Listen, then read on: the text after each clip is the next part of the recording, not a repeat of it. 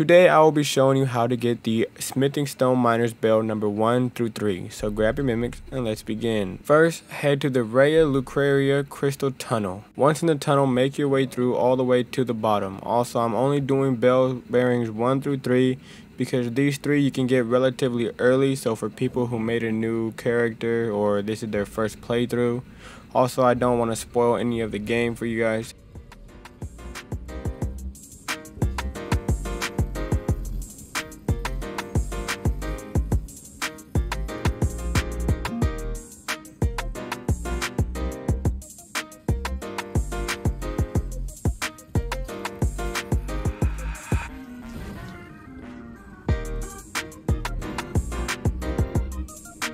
Once you make it to the bottom, there will be a boss. Summon your mimic and beat the boss, and he will drop bell bearing number one. Take these to the old ladies at the round table, and then next we have to head to the sealed tunnel, which is directly east of the outer wall phantom tree. If you go directly east, you'll run into this ledge right here. Just follow the path on screen and it will take you to the tunnel. Once in the tunnel, break this fake wall right here and then hug the right wall. There will be a chest, and in the chest will be bell number two.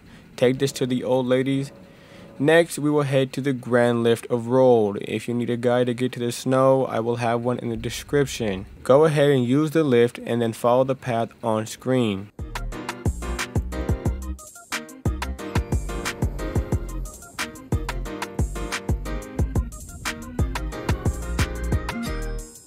We are going to head to the Zamor Ruins and then head to the far back of the ruins, like in the way back, tucked back there, there will be some stairs. Go down the stairs and there will be a door. Behind the door will be a chest, and in the chest will be bell number three. Take this to the old lady, and you should have smithing stone one through six.